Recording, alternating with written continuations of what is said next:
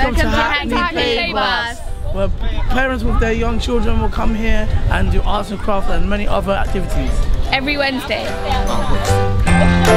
What would you say is the most rewarding thing about working on the Play Bus? Strangely enough, the best thing I find is looking at the kids crying as they leave because it shows that they love it so much that they want to come again and um, they get so immersed in what they're doing, whether it's painting or sticking or playing football or whatever. They're just so immersed in what they love doing.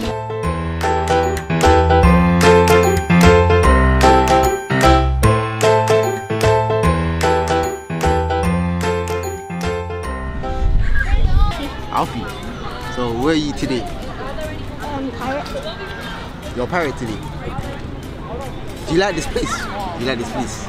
Why, why do you like it? Because it has a basket on it. As a boss?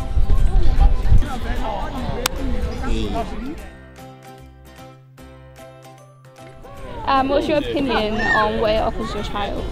Uh, my, my opinion of it is that it's fantastic. It's got great activities.